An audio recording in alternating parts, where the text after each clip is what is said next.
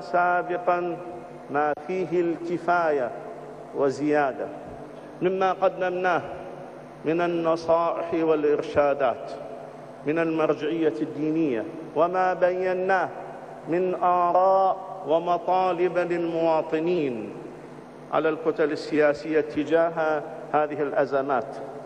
ولم يعد المزيد من الكلام فيه جدوى ونفع والواقع أن حلول أي أمر سواء كان مشكلة أو أزمة سياسية أو اجتماعية تحتاج إلى ركنين أساسيين تقديم النصيحة والمشورة المناسبة والصحيحة ثانيا الركن الثاني القبول من الشخص المعني.